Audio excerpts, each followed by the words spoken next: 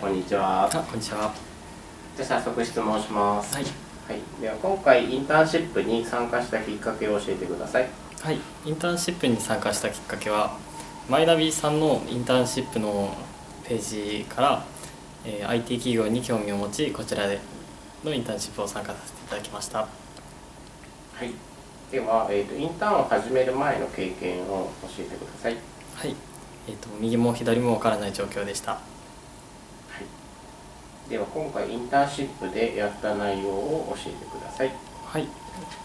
やった内容といたしましては、えーまずき自分のが考えた記事テーマで記事を作成しその記事に基づいた動画作成をしましたその他に、えー冬をテーマとした、えーウェブレスポンシブデザインのウェブ制作をいたしました。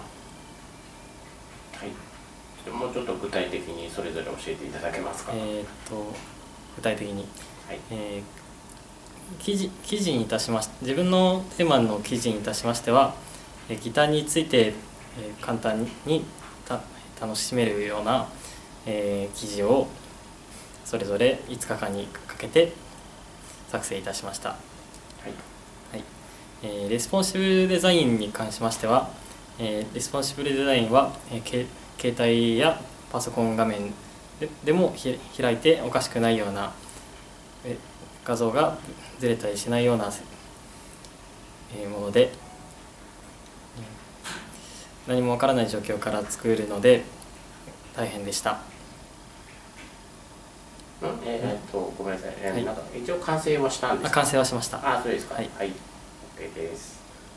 では最後ですが、まあ今日でインターン最後なので、えーとインターンシップを終えての感想を教えてください。はい、えー、5000語例や、えープレップ法など、えーわ知らないこともあり、えーたくさん学ぶこともありました、えーま学んでい学ぶことの中で、えーえーし会会社の生活リズムや、えーウェブのデザインの方法などわからないことがたくさん知れたのでよかったです。